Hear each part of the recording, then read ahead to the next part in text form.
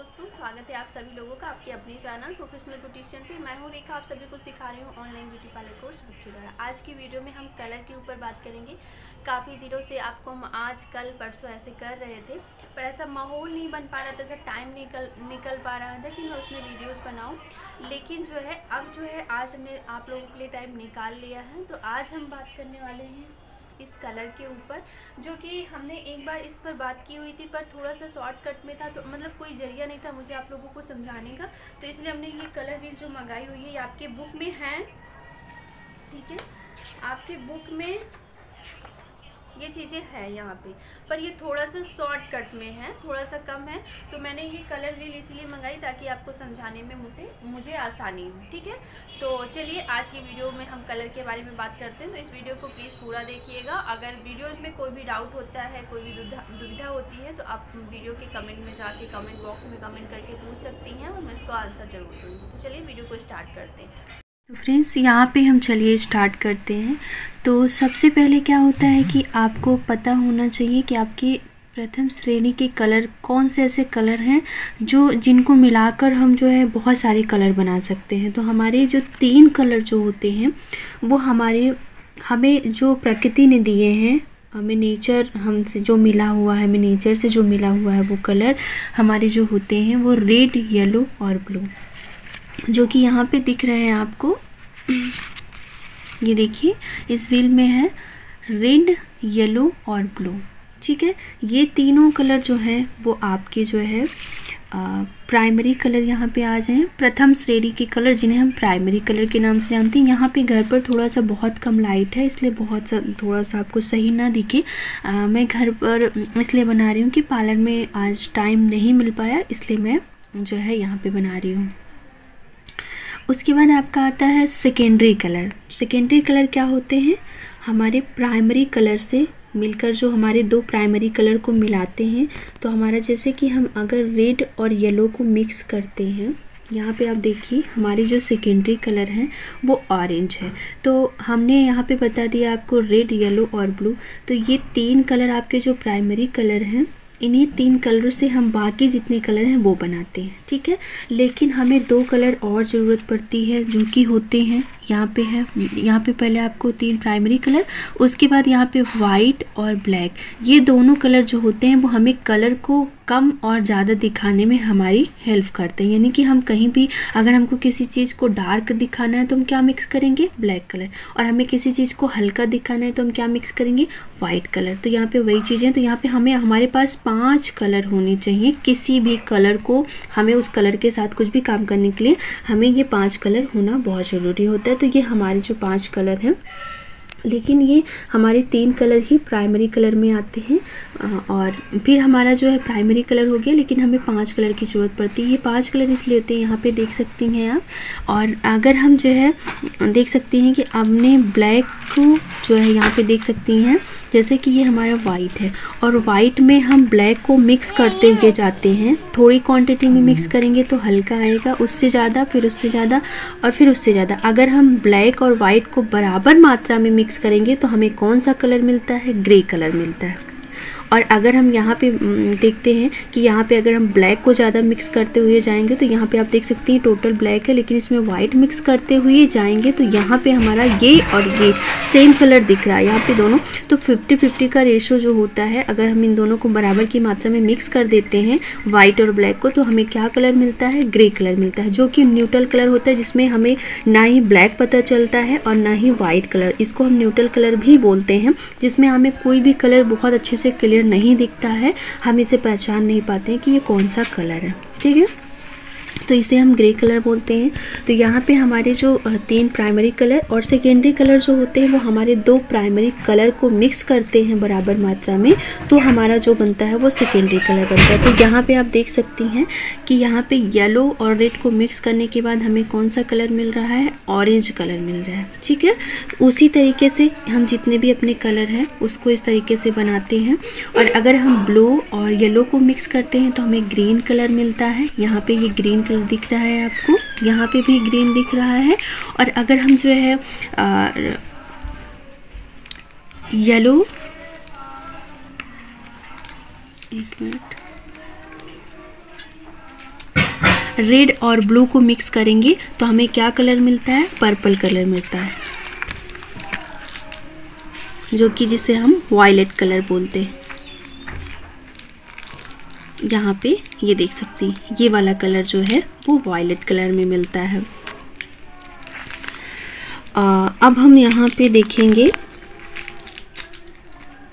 ये हमारे secondary colour अब हमारे जो टर्जरी कलर है, वो हमारे कौन से कलर को मिक्स करके बनते हैं, जो कि जिसे हम बोलते हैं इंटरमीडिएट कलर और जिसे हम बोलते हैं तृतीय श्रेणी के कलर तो वो हमारे क्या होते हैं, एक प्राइमरी और एक सेकेंडरी को मिलाकर। पहले जो हमारा ऊपर वाला हिस्सा होता है, पहले हम उसे बोलते हैं तो हमारे एक प्राइमरी और एक सेकेंडरी को मिक्स करने के बाद हमें जो कलर मिलता है, वो हमारा मिलता है टर्जरी कलर जो तृतीय श्रेणी का कलर होता है। तो यहाँ पे हम आपको आसान तरीके से दिखाएँगे। देखिए रेड देखिए रेड जो है हमारा प्राइमरी कलर है और ऑरेंज जो है हमारा सेकेंडरी कलर है।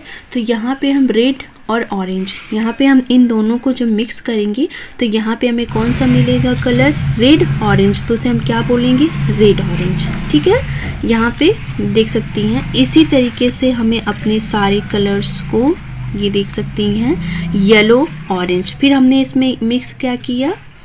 ऑरेंज और येलो को मिक्स करने के बाद येलो ऑरेंज मिल रहा है। फिर यहाँ पे येलो ग्रीन यानी कि हमने येलो को और ग्रीन को मिक्स किया। तो येलो जो हमारा था, वो प्राइमरी कलर था और ग्रीन क्या था? हमारा सेकेंडरी कलर था। तो क्या हो जाएगा? येलो ग्रीन यानी कि हम, हमें जो हमारे प्रथम श्रेणी के कलर हैं, जब हम सेकेंडरी में मिलाएँगे तो भी जब हम बोलेंगे उसको तो पहले अपने प्राइमरी कलर का नाम लेंगे, फिर हम अपना सेकेंडरी तो यहाँ पर वही चीज़ हो रही है कि येलो ग्रीन ठीक है? यहाँ पर हम ग्रीन बोलते हैं तो ये हमारे सेकेंडरी कलर येलो ग्रीन बोलेंगे तो ये हमारे टर्सरी कलर होंगे। तो यहाँ पर आपने ये समझ लिया प्राइमरी सेकेंडरी और टर्सरी उसके बाद जब यहाँ पे आपको सारे कलर्स यहाँ पे शो होते हैं, ये देख सकते हैं प्राइमरी कलर क्या है सेकेंडरी कलर क्या है और ट्रेजरी कलर क्या है तो जिसे हम इंटरमीडिएट कलर के नाम से भी जानते हैं। फिर उसके बाद हमें, हमारे पास हमें जो समझने के लिए आता है, वो हमारे वार्म और कूल कलर यानी जो हमारे ठंडे कलर और जो गर्म कलर। तो हम देखते हैं कि हमारा जो ये ये कलर व्हील में आप देख सकती हैं कि हमारा इधर वाला हिस्सा तो यहाँ पे ये दिया दिया गया है। जो हमारा गर्म कलर होता है वो रेड और येलो, ऑरेंज और पर्पल होता है। ये जो कलर हमारा होता है, ये काफ़ी गर्म होता है, यानी कि दिख जैसे कि हम मौसम के हिसाब से कपड़े पहनते हैं। तो जैसे जब सर्दियाँ होती हैं तो हम बहुत गरम कलर, हॉट कलर पहनते हैं, जैसे रेड हो गया, येलो हो गया, ऑरेंज हो गया, ये सारे कलर पहनते हैं। लेकिन जब गर्मियाँ होती हैं तो हम ज़्यादातर ब्लू पहनते हैं, ग्रीन पहनते हैं, वाइट पहनते हैं। इनका जो क्या होता है? ये ठंडे कलर होती हैं, ये ठंडे तो वार्म और कूल यहाँ पे हम देख सकती हैं, जैसे कि हम, अगर हम देखते हैं इमेजिन करें कि हमारा जो आसमान का कलर होता है, वो काफ़ी लाइट होता है, वो हमारा वो कूल कलर होता है, हमारी प्रकृति का जो कलर है, वो भी कूल कलर है ग्रीन है। लेकिन जो हमारी सूरज की जो किरण सूरज है, वो काफ़ी गर्म है। उसके आसपास आप देखेंगी तो एक जो कलर निकल के आता है, वो आपको रेड भी दिखाई देता है ऑरेंज भी समझ में आता है येलो भी समझ में आता है तो वो हमारा फायर मतलब एक तरीके से हम हम आग को भी देखते हैं तो वहाँ पे भी हमारी आग भी क्या होती है, वो गर्म होती है। उसका कलर जो होता है, वो गर्म होता है। तो हम इस तरीके से समझते हैं तो यहाँ पे भी जो हमारे, यहाँ से रेड से शुरू हुआ है, इस तरफ़ देख सकती हैं, येलो तक। ये हमारे सभी गर्म कलर में आ जाते हैं। उसके बाद क्या होता है, यहाँ पे आपको वार्म और कूल का ये ये चक्र आप देख सकती हैं, यहाँ से आपको शुरू होकर यहाँ तक आप देखिए, ये आपके जितने भी कलर इधर साइड में मिलते हैं, वो सभी आपके गर्म कलर होते हैं वार्म कलर होते हैं और कूल कलर जो इधर से आप देखेंगे ग्रीन ब्लू ये सारे कलर जो हैं आपके, ये कूल कलर हैं, ठीक है? तो यहाँ पे आपने इतनी चीज़ें समझ ली। उसके बाद आता है आपका, यहाँ पे मैं देखती हूँ, फिर यहाँ पे आपको समझाने के लिए आता है ह्यू। ह्यू जो होता है वो जिसे हम बोलते हैं, जैसे कि हमारे ये बारह बारह कलर हैं, सभी कलर जो हैं, ये अपने कलर में बहुत अच्छी तरीके से आपको दिख रहे हैं। इसे हम ह्यू कलर बोलते हैं। ठीक है, जैसे वन, टू, थ्री, यहाँ पे four, five, six, seven, eight, nine ten eleven twelve. यानी कि हमारे प्राइमरी, सेकेंडरी और टर्जरी कलर जो होते हैं, वो टोटल बारह कलर हो जाते हैं। उन्हीं बारह कलर को हम ह्यू कलर बोलते हैं। ठीक है? यहाँ पे मैं कोशिश कर रही हूँ कि आपको आसान तरीके से समझाऊँ। काफ़ी लाइट कम है। ठीक है तो इसलिए से बहुत क्लियर नहीं दिख रहा है, लेकिन मैं अपने आप मेरी बातों को समझेंगी तो काफ़ी अच्छे से समझ पाएँगी। यहाँ पे लिखा हुआ है ह्यू कलर तो हमारे जितने भी ये जो बारह कलर हैं, अपने अपने ओरिजिनल कलर में है, यहाँ पे आपको बहुत अच्छा अच्छी तरीके से दिख रहे हैं ये सारे कलर ठीक है? इसमें कोई मिक्सिंग नहीं हुई, ये सब कलर हैं, ठीक है? तो इसे हम ह्यू कलर बोलते हैं। हमारे जो बारह कलर हैं, वो ह्यू कलर है। उसके बाद आता है हमारा tint tone shade tint tone shade अब हमें जो होता है, इनको जानना बहुत ज़रूरी होता है। तो यहाँ पे हम अपने टिंट टोन और जो है,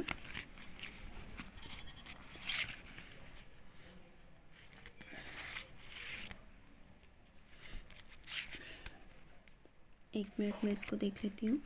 देखिए टिंट टोन और सेट जो होता है, वो हमारे, जैसा कि अगर हम किसी भी कलर में अपने वाइट कलर मिक्स करते हैं। आपको स्क्रीन पर हम शो कर रहे हैं। पिक्स उसको आप देखिए ध्यान से। किसी भी कलर में अगर हम वाइट कलर मिक्स करते हैं तो हमें उसका टिंट कलर मिलता है। यानी कि लाइट कलर मिलता है। और किसी भी कलर में अगर हम ब्लैक कलर को मिक्स करते हैं तो हमका हमें उसका सेड कलर मिलता है। यानी डार्क कलर मिलता है। तो हमारा टिंट और क्या हो गया? सेड कलर हो गया। सेड हो गया। फिर उसके बाद क्या होता है? टोन टोन हम किसी भी कलर में अगर ग्रे कलर को मिक्स कर देंगे तो वो क्या हो जाएगा? हमारा टोन कलर खिल, मिलकर निकलेगा। उसे हम समझ नहीं पाते हैं। हमें बहुत अच्छी तरीके से दिखता नहीं है कि इसमें कौन से कलर को हम बिल्कुल न्यूट्रल कर देता है। जिस भी कलर में ग्रे कलर को मिक्स कर देते हैं, वो उस कलर को बिल्कुल न्यूट्रल कर देता है। हमें वो समझ में नहीं आते कि ये कौन से कलर हैं। ठीक है? तो उसे हम इसको न्यूट्रल कलर भी बोल सकते हैं। तो हमारा टिंट जो होता है, वही टोन जो होता है, वो हमारा ग्रे कलर यहाँ पे आप देख सकते हो कि टिंट जो है उसमें वाइट मिक्स करते हैं। किसी भी कलर में वाइट मिक्स करेंगे तो उसका लाइटर वर्जन किसी भी कलर का लाइटर वर्जन को हम टिंट कलर बोलते हैं। और किसी भी कलर में अगर ब्लैक नीचे आप भी बीच में देखते हैं ग्रे कलर आपको मिक्स करेंगी तो आपका टोन कलर हो जाएगा, जिसमें आपको कोई भी अच्छी तरह से, कोई भी विजुअल कलर आपको बहुत अच्छी तरीके से वो कलर नहीं दिखाई देता। इसकी डिटेल हम इसको बनाते किस तरीके से, इसको नेक्स्ट वीडियो में अभी समझाएँगे आपको कि किस तरीके से हम उसको मिक्स करते हैं और करते हैं, उसके साथ हम काम किस तरीके से करते हैं। उसके बाद आता है, सेट जो कलर है, वहाँ पे देख रही हैं, ब्लैक, हम किसी भी कलर में अगर ब्लैक मिक्स कर देते हैं तो उसका डार्क कलर हमें मिलता है, ठीक है? तो ये हो गया आपका यहाँ पे टिंट टोन और सेट जो कि यहाँ पे आपको दिखाई, हम एक सेकेंड दिखाते हैं। ये देखिए, यहाँ पे हम रेड को, अगर रेड में वाइट कलर मिक्स करते हैं तो हमें कौन सा कलर मिल रहा है? पिंक, लाइट पिंक कलर मिल रहा है। और यहाँ पे हम कोई भी कलर हमें पता नहीं चल रहा है कि इसमें हमने कौन से कलर को मिक्स किया है। ये इसमें हमने ग्रे मिक्स किया। है ये हमारा जो कलर है, वो टोन कलर है। बीच वाला जो कलर है, वो टोन कलर है। यहाँ पे हम कुछ भी बहुत अच्छी तरीके से हमें नहीं दिख रहा है। इसमें ग्रे कलर मिक्स है रेड में ग्रे कलर मिक्स है, जिसके कारण हमें यहाँ पे कुछ भी चीज़ें बहुत अच्छी तरीके से नहीं समझ में आ रही। फिर उसके बाद सेड यहाँ पे हम रेड में हमने ब्लैक कलर को मिक्स किया है तो हमें ये थोड़ा सा देख सकते हैं इसका डार्क कलर जो हमें मिल रहा है, ये देखिए। ये थोड़ा सा महरून कलर पे आ रहा है, ये देखिए। ये देखिए, इसमें बहुत अच्छे से नहीं दिखाई दे रहा। अगर इसकी जो है थोड़ा सा हैवी रेंज का हम लेते हैं, इसको कलर व्हील को तो थोड़ा सा हमें बहुत अच्छी तरीके से दिखता है, लेकिन इसमें थोड़ा कम। लेकिन आप इससे हम थोड़ा सा स्क्रीन पर कुछ चीज़ें शो करेंगे, उसको आप देखेंगे, उसमें आपको काफ़ी क्लियर दिखेगा टिंट टोन और शेड के बारे में। तो यहाँ पर आप ये देख सकती हैं कि कोई भी कलर में अगर हम वाइट कलर मिक्स करते हैं तो उसका हमें टोन कलर टिंट कलर मिलता है। और अगर हम किसी भी कलर में ग्रे कलर मिक्स करते हैं तो हम, हमें उसका टोन कलर मिलता है और किसी भी कलर में अगर हम डार्क कलर इस्तेमाल करते हैं, डाल देते हैं तो हमें उसका सेट यानी कि डार्क कलर मिलता है। ठीक है? तो यहाँ पे आपको टिंट टोन और सेड मिल के बारे में पता चल गया। अब हाथ, चलिए, आज मैं घर पे हूँ तो थोड़ा सा कैमरा हाथ में ली हूँ। तो ये चीज़ें जो है थोड़ी सी समझाने में मुझे दिक्कत हो रही है तो फिर आज मैं थोड़ी सी वीडियो भी बड़ी है